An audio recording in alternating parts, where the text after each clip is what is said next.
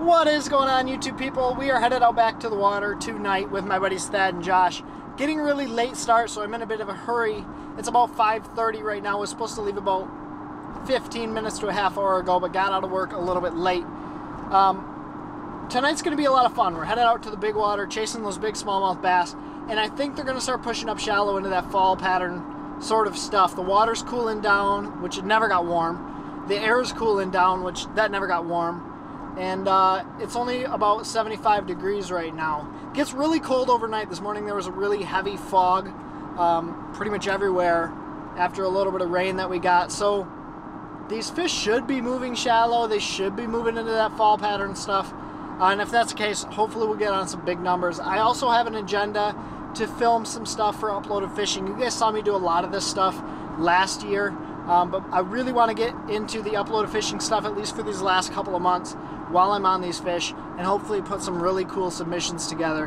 Because my buddy Thad's coming out with one and it's going to be awesome so I really need to come out with something to compete with that. But we're going to get out to the water we're going to go meet Thad and Josh here in a couple minutes and then go catch some big smallmouth bass.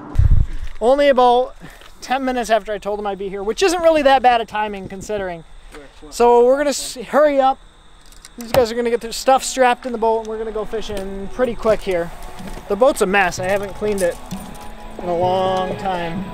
But we got to get out on the water.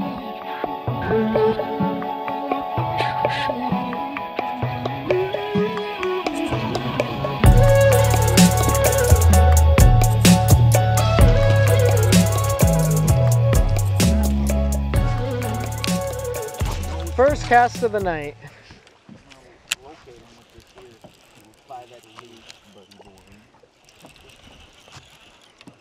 Right now I'm at where I want to be cast. There's one. No, no, no.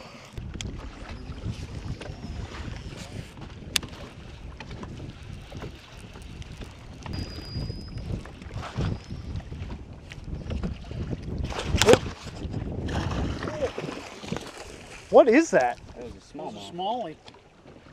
There's a big old black smallie. Just broke me off. Oh my Lanta. There's a big old black smallmouth. Hand me that, toss that buoy out. On a crankbait. I knew I hit the rocks. I just didn't think it was gonna snap me off just like that.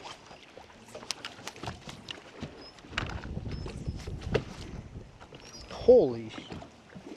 So, see those fish right out there? Like that. What? What? Okay, I still cannot. Oh, Those are fish, right? all of. Right here. Those are fish. The blue marks and stuff. Yeah, up off the bottom. There are so many fish here right now. I broke off a big one. Josh caught a big. Jeez. Literally hit the boat. Yeah, he jumped a good. I know. Because I was the air. bringing the lure up out of the bottom. Pounded it. Pounded it. I hope I got that on camera. I probably didn't. Whoa. Got, got one? Yep. Oh, it's a better fish.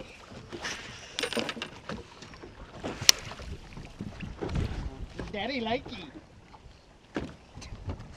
Oh, he's bird dogging. Stay down.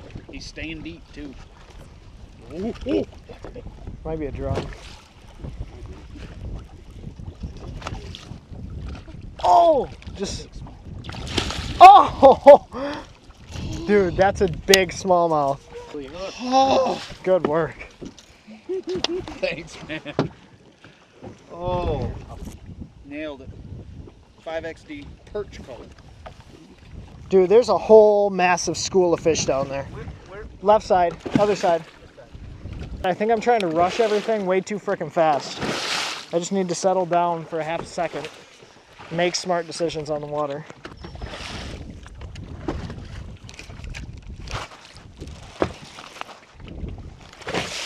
Oh my, Lanta, the smallest smallmouth in the world. It's a giant tube. What is wrong with that tube? Three quarter ounce tube, tiny smallmouth.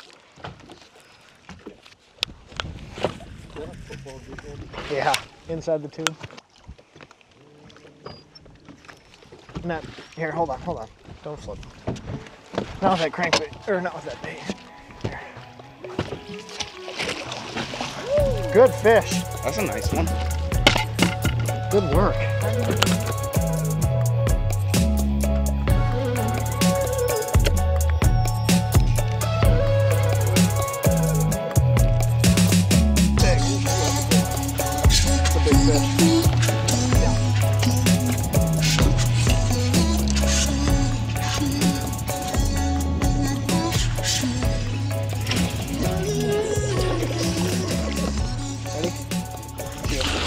Oh, nice. there's a big one. Very nice. Good net job, man. On the big chunky tube. Chunker. Chunker, chunker, chunker. Cool. Cracking that big old tube. I think what they did is when I snapped that tube up, that fish reacted to it. And he just crushed it. Cracking. I mean, crack. gotta crack that tube. Yep. Giddy up.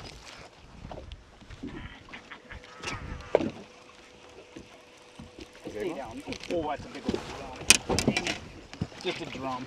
It's a huge drum, though. Holy. Huge drum. Oh, oh. that's, it's a That's as big a drum as I think I've it's ever a state seen. record drum here. Hmm.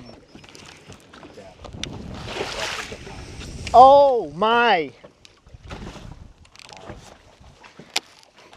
I've had worse.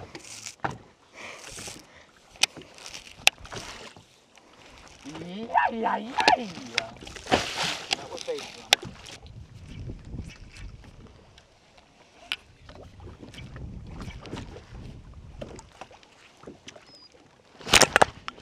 Yep. Somebody found a fish. Oh, that was so awkward. One of them. Yeah. Here, I can it. Oh! Oh, we're good. He kind of jumped over the net. Yeah. You see this huge leg? Huh? You see this huge leg? Would you like to swim in it? 'Cause I wouldn't feel Oh bad. my god. Dude, it's like I have to snap it and then let it sit there. They're picking it up on the drop down. No, they're just, I snap it, watch. Gonna hit bottom. And they're gonna hit it when, There it was. oh god dang it. They're picking it right up. It's like I snap it and then they come and get it. Yeah. It's like it gets their attention. It's like they need to follow it and then when you go to stop it, they come and get it. Right. Like that, when you're doing that, kind of just kill it. Big one?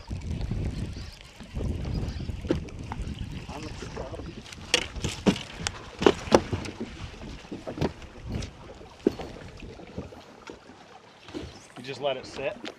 Yeah, I just let it sit and you picked it up and I, Dead sticked it. Oh my oh my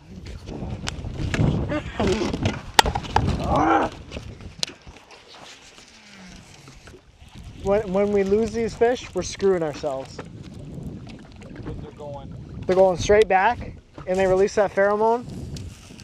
and it's alerting everything else down there. Yeah. We could probably have about 23 pounds in the boat right now. We've lost We've lost a lot. five. You lost I lost about a five. I lost about a four. Let's just underestimate. Oh my, Lanta. That might be a Yeah, don't you don't have to horse him. You're good. Let's just hope it's a not a drum. Oh, he got it funny. son of a Been off the water for about an hour now, and you guys saw a lot of craziness tonight. You saw a lot of the highs and lows of fishing. You saw us catch big fish. You saw us lose big fish. You saw us running to the right, running to the left, kind of all over the place. And a lot of that had to do with the limited amount of time that we had on the water tonight. As I mentioned a couple different times, we got on the water about 7 o'clock was when we launched the boat. Had to be off the water around 8:30, so we only had about an hour and a half actually going out there and fishing. And when that happens, a lot of times, what can happen as an angler is we try to do way too much. When at the end of the day, there are two things you need to execute on when you only have a little bit of time on the water. You need to figure those fish out quickly, you need to figure out how to put them in the boat effectively. We figured them out really quick. We had them dialed in within the first 10 to 15 minutes out there, but we didn't effectively put them in the boat, and you guys saw that um, really with me losing a whole bunch of fish. Now, I'm going to go over the setups, the rods, reels, techniques that I was using tonight to hook these fish, catch these fish, and try to put them in the boat because I think we were on the right pattern. We just didn't capitalize on all those opportunities. As I mentioned, I probably don't have to mention that much more. So the first technique we dialed in relatively quickly was throwing a big crankbait. This here is the 6 Sense Lures 300 DD. Josh caught his on the Strike King 5XD, um, and the one I broke off really early on was on a 6 Sense Lures uh, C15 Cloud 9 series bait. But what you do is you cast this bait out there, make a really long cast with this bait, and you start by cranking it really fast to get this bait to dive down and hit bottom. Well, once it hits bottom, what you want to do is slow your retrieve down. All you want to do is kind of creep this bait along the bottom and be able to feel it pick apart all of that rock, all of that different bottom composition. It gives those fish a really good opportunity to track this bait, follow this bait, and eat it. But the way that you're going to trigger that strike is by changing your retrieve, whether you speed it up really quick for a reel or two, a crank or two, or you can slow it down and stop and pop it. That's going to allow that bait to kind of kick out to the side or move differently, give those fish that, uh, make those fish react to that bait, which is why they call it a reaction bite. The rod that I'm throwing this on is a 7 foot 3 cranking rod. I have it on a 6 4 to 1 reel with 12 pound test fluorocarbon. The second technique and the one that I switched to a little bit later on in the night was cracking a tube. Now I was doing it kind of unconventionally. Um, I was throwing a three and a half inch tube with a three quarter ounce football head on 15 pound fluorocarbon line and a bait casting rod. And the reason I was doing this rather than fishing it on a spinning rod was because I'm able to crack this bait a lot harder. And it's going to give this bait more of a reaction strike than uh, if you're throwing it on a spinning rod where you're not able to get as much movement of this bait. Also, when you're throwing this really heavy weight, you need a heavier action rod. So I make a long cast with this bait, and if you guys go back and watch the footage, you'll see me take two hands. Hopefully, you can see. You can see me take two hands, snap this rod up, and what that's going to make this do is this tube's going to shoot up off the bottom and then sink back down.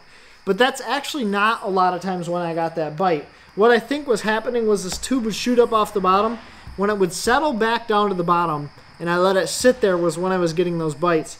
That tube would call those fish in and those fish would be curious, come on over to my bait, see it sitting there, see it sitting there, then they would hammer it down into the bottom and that's when I would get my bites is when I would let that bait sit there on the bottom. And I was throwing it on a seven foot two medium heavy action rod. Um, a 7 1 to 1 reel. You want a reel that you can pick up a lot of slack with very, very quickly. And as I mentioned, 15 pound fluorocarbon. Ended up breaking off a good one right at the very end. And uh, again, it was just laziness, me not checking my line and retying. Tonight at best was chaotic. My buddy Thad put it best in his Instagram post. Um, but we basically had the shot at about a 20 pound bag of smallmouth. We ended up losing a couple right at the boat. I lost that one. It jumped over the net and came off. Um, and essentially, it was just one of those nights where we were rushing around and it caused us to make errors. Uh, one thing that I recommend, one thing that I learned, and the reason that I'm making this video is to teach you guys from my mistakes. So when you're out on that water and you have a time crunch, don't be focused on the next cast. Don't be focused on what you're going to be doing next, what, where you're going to move to, the next bait you're going to be throwing. Focus on each cast. If I would have taken the 20 seconds it takes me to tie a Palomar knot, retied real quick, and made my made my cast, I think I would have put every single fish in the boat that bit my bait tonight. I was so focused on looking around, trying to figure out what those fish were going to do next that I missed what was happening in the moment. Ended up uh, kind of missing some of these fish, missing some of these clues that were going on around me tonight. So I hope you guys enjoyed. This was a lot of fun. You saw a lot of highs and lows, as I mentioned already, kind of all over the place. If you enjoyed it, please go down and give it a thumbs up. If you guys haven't already, click the little notification bell. It's going to let you guys know when I post videos. It will literally send you a notification and say Ben Nowak has posted a video, and uh, you guys can come over here and watch it. So please do that. It would be greatly appreciated. Uh, also, check out my partners down in the comment section below. Also, if you have any questions or comments, interact with me in the comment section below. Add me on social media. Uh, and as always, guys, thank you for watching. Take care. Tight lines. God bless. Pursue your passion.